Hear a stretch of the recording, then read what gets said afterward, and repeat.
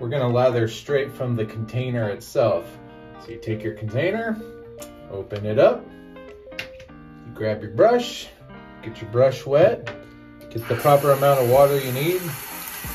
As a reminder, building up a good lather, no matter which method you use, a good lather is gonna be a mixture of water, soap, and air. So get the water you need, not a lot, but not a little. You need just the right amount. You just press it in there and go straight in here. As you lather, you want to press down, but you don't want to press down too hard because it'll be bad for the brush. But if you just do it lightly, you're not going to get what you want. So there's this even pressure of pressing down. But now I have this nice luxurious leather.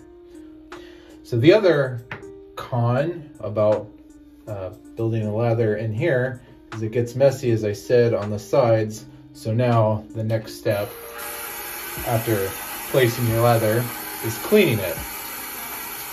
Put it directly under the faucet, rinse off all the soap on the sides that you're not using anymore, clean it off.